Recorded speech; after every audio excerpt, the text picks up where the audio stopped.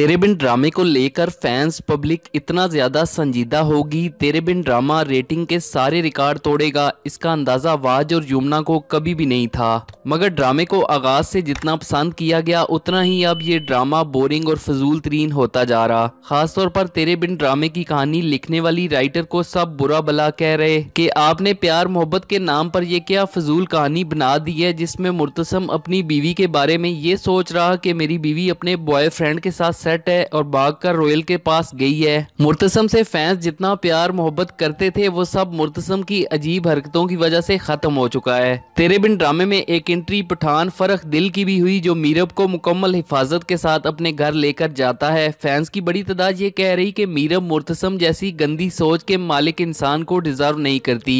मुर्तसम हया से ही शादी करे और मीरब फ़र्क पठान से शादी करके जो उससे इज़्ज़त, एहतराम और मोहब्बत देगा। इस हवाले से रिसेंटली एक फोरम पर यमुना जैदी से जब ड्रामे में फ़र्क पठान की एंट्री पर सवाल किया गया तो उन्होंने ड्रामा देखने वालों को ये हिंट दिया कि शायद तेरे बिन ड्रामे में मेरी दूसरी शादी भी दिखाई जाए। और अब कहानी इतनी बोरिंग हो चुकी है, देखने वाले भी मीरब की दूसरी शादी फ़र्क से देखना चाह रहे हैं। एक फ़ैन ने ये लमाज शेयर करते हुए लिखा कि Meerab deserve a man like फ़र्क who will treat her with respect and genuine love के मीरब तो फ़र्क जैसे इंसान को डिजर्व करती है, जो उसे इज़्ज़त और सच्ची मोहब्बत दे सके।